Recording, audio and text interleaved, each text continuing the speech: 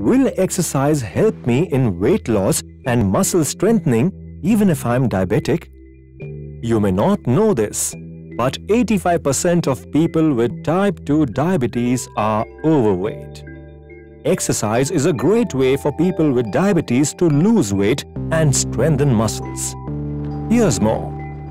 If you are overweight, regular exercise can really help you lose weight to a significant extent. This weight loss further helps in the management of type 2 diabetes by improving control over blood glucose levels.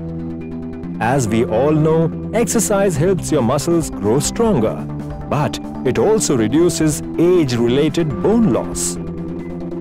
Together, stronger muscles and bones help you stay mobile as you age. So exercise helps you stay mobile and staying mobile allows you to exercise. A great virtuous cycle.